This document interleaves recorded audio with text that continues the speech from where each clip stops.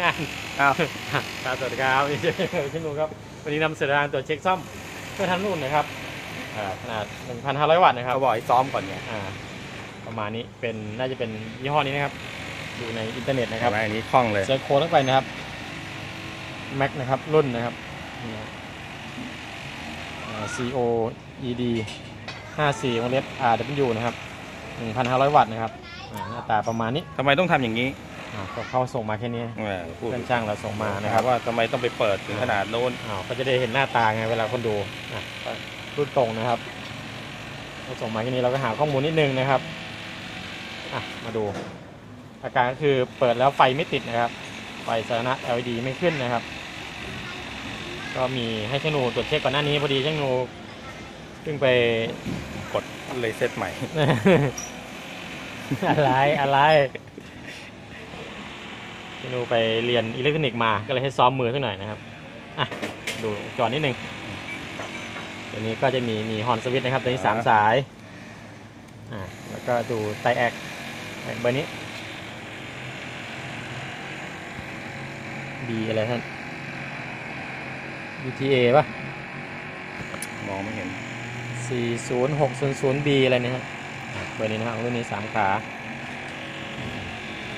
ดูไว้ดูไว้เผื่อใครต้องใช้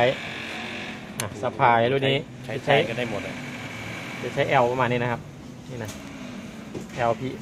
LP หนึ่งเป็นเมกอมค่าหนึ่งไมโครเฮนรี่นะครับเอาหายไปตัวนึงเว้ยอ่าแล้วก็ตัวมีปัญหาแล้วครับอ่าแล้วก็อ่าดู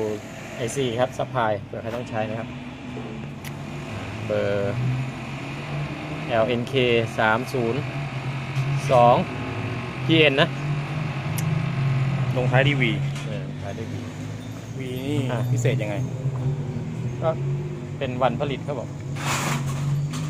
จริงเหรอ ตัวตัวไหนไฟค้างครับ อาการเสียงเขาพี่หนุ่ม ตัวบนสิ ค้าตัวบนค้างอ่าปรากฏว่าจะมี C ตัวนี้นะครับ ไฟ 300 ค้างใช่ปะอืมแต่ตัวล่างไม่ค้าง อ่า ตัวล่างจะไม่ค้าง ใส่หลักการ L นี่นะครับค้างก็คือตัว L L ตัวนี้มีปัญหานะครับ เดี๋ยวช่างมาวัดให้ดูก่อน อันนี้ต่อต่อไปแล้วนะครับ วัดให้ดูค่านิดนึงดูวันนี้ขึ้นมาแล้วโอ้ยมิเตอร์วัดวัดแอลได้ด้วยเหรอเอาก็วัดโอห์มธรรมดานี่เดี๋ยวอะตัวนี้ต่อต่อไว้ด้านล่างอยู่นะครับเดี๋ยวขาดไปแล้วมั้งขึ้นไหมเนี่ย อ่าไม่ขึ้นแล้วบ้างครับบอกอย่าโยกไปอย่าโยกมา อ่าอ่าอ่าสมมติเหตุการณ์จริงแล้วครับตอนนี้อืมหลุดไปแล้วนะครับเห็นไหมอ่าเดี๋ยวดูตัวตัวที่ใช้ได้ตัวนี้อ่า ค่าเท่าไหร่อ่าสามโอห์มนะครับมีวัดในวงจรนะอ่าในวงจรขึ้นสามโอห์มนะครับตัวนี้เป็นแนววัดที่ L ตัวนี้อ่า D LP สองนะครับอ่าตอนนี้ L LP หนึ่งมีปัญหาอยู่นะครับ เหมือนกันอืมเดี๋ยวเดี๋ยวตอนนี้รอยวัดแล้วกัน สมมติว่าเป็นรอยวัดช่างมั นจะวัดนั่นไงหลุดจนได้อย่าโยกอย่าโยกอ่าเท่าเกิดเท่ากันนะครับ อยู่ที่สามโอห์มนะครับ โอเคคือตัวเสียคือตัวนี้นะครับ ตัวนี้แหละ L ตัวนี้ขาดนะครับ IC ไม่เสียนะครับ IC นี่วัดขึ้นครั้งไม่ขึ้นครั้งนะครับ ตรงขาห้ากับขาเจ็ดนี่นะครับ นี่นะไม่ช็อตไม่ช็อตอ่านี่ครับห้าร้อยวัดไฟบวกมิเตอร์ดิจิตอลเป็นแดงเป็นบวกนะครับ บวกที่ขาเจ็ดนะครับ สลับด้านนะครับไม่ขึ้นนะครับ การเสียคือ C ตัวนี้ไฟจะค้างนะครับ300โวลต์เนอะค้างเคเอาง่ายๆนะครับ ได้จากความสั้นๆข้างในบักกี้กัน จะ ให้ดูว่ามันติดยังไงนะครับ ก็คือไฟ300ครั้งตัวนี้ต้องใช้ฝีมือหน่อย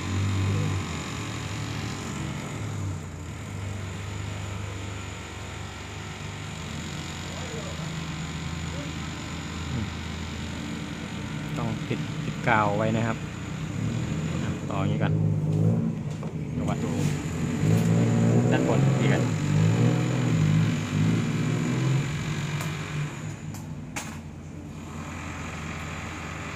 ขึ้นสามโอเคสามโอห์มนะครับ มันมันจะวัดไฟยากหน่อยนึงนะครับ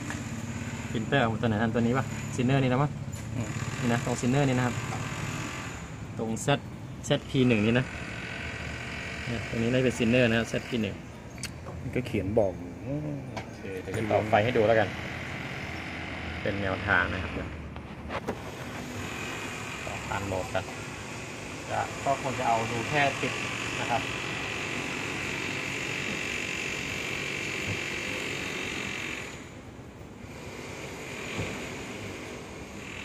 อะมีติดอยู่นะครับ เดี๋ยวเช็ดไฟให้ดูกันว่าไฟมาอย่างนี้ต่อพันโหลดอยู่นะครับ เดี๋ยวคนดูก็งงไม่ติดยังกลัวไฟดูดเลยปิดไว้ก่อนหัวเมนนะครับหัวเมนอ๋อ อะมาแล้วนะครับ225โวลต์นะครับมองไม่เห็น AC เข้าแล้วนะครับเปิดเบรกเกอร์นะครับป้าบอ๋อไฟเขียวติดนะครับเฟสกันดูดนิดนึงป้าบอ๋อเด้งลงนะครับจะได้นะครับไฟหายนะครับอืมติดเขียวออนดูซิไฟจ่ายเท่าไหร่นะครับ เช็คตรงซินเนอร์นี้เลยนะครับจะวัดไฟยากหน่อยหนึ่งนะครับอ๋อสลับ ได้นะครับ บวกลบจะสลับกัน กี่โวลต์ครับอ่าสี่โวลต์ห้าโวลต์นะครับห้าโวลต์นะครับตรงซินเนอร์เป๊ะเลยแนวซินเนอร์ตัวนี้คุมห้าโวลต์อยู่นะครับไอซีก็จะวัดยากหน่อยโอเคประมาณนี้แหละเป็นแนวทางนะครับอย่างอื่นก็เครื่องแมวก็มีหลายคลิปแล้วคงจะไม่ต้อง เพราะตัวนี้คือการไม่จ่ายไฟนะครับ ไฟ 300 ครั้งนะครับ ก็หวังว่าจะมีประโยชน์นะครับ แก่ประชาชนทั่วไป และช่างมือเก่ามือใหม่ในการที่ตรวจเช็คซ่อมเครื่องทำน้ำอุ่นนะครับของ MEX นะครับ จบเร็วจังสเว้ยวัสดีครับสู้ๆครับ ขอบคุณครับที่รับชมงานยังไงช่วยกดติดตามกด subscribe กดไลค์แชร์เพื่อเป็นกำลังใจให้ช่างแมวช่างหนูในการทำคลิปวิดีโอใหม่ๆต่อไปครับ สู้ๆครับ เอาเร็วๆเอาสั้นๆได้ใจความพออืมเลยกล้องเลยไม่ไม่ทัดรัดพอดีมันมีปัญหาเรื่องลายวงจรครับมัน แล้วมันจะหลุดพลิกไม่ได้ เอาตัว เสียตรงๆไปเลย